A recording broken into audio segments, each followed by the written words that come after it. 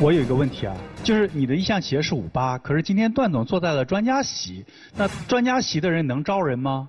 在我看来，我觉得不拘一格。我们今天是解决呃求职者就业的问题。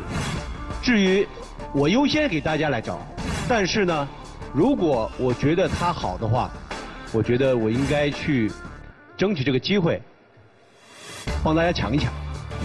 我看你的经历啊，你是音乐学院毕业的，对然后你也没有做过什么这种真正的医疗，好比呃这方面的这样的一个培训。然后你呢，现在找的工作呢，五千块钱就可以，然后说要到五八那边去做这个月嫂，你到底到今天来到这儿来是干什么的？你每个月可以拿十万块钱，你为什么要找个五千块钱的工作？我如果不去突破的话，我可能五年、十年之后，或者是甚至一两年之后，我就拿不到十万了。你有算过你现在如果每个月能拿到十万，五年、十年，咱都别说十年，六年以后你算过你有多少钱吗？呃，您要知道我的培训费是特别贵的，我出去学习是特别贵的，我出去学习不加吃住，一天两千学费。就你每个月赚十万是纯利润啊？对。那你现在的客户从哪里来的？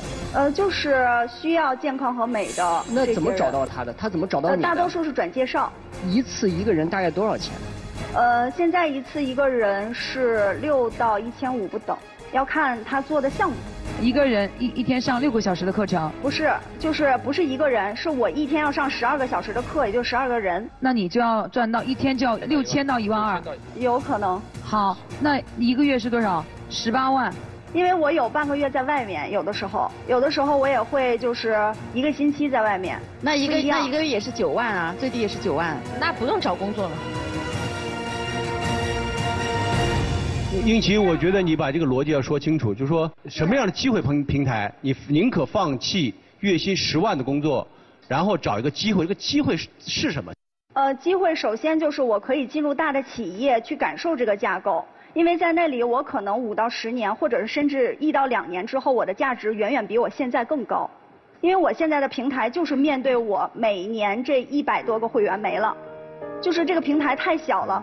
其实我的客源已经被在被稀释了，因为我还能保证这个情况，是因为我的价格，因为我的价值在涨。可是我现在觉得自己的价值在涨，能接受的人就少了。那我就要考虑我未来为什么我刚才在上台的时候说我要再一次突破自己，突破自己就是再把自己打回原形，再重新走。因为我现在有强有力的就是我有技术。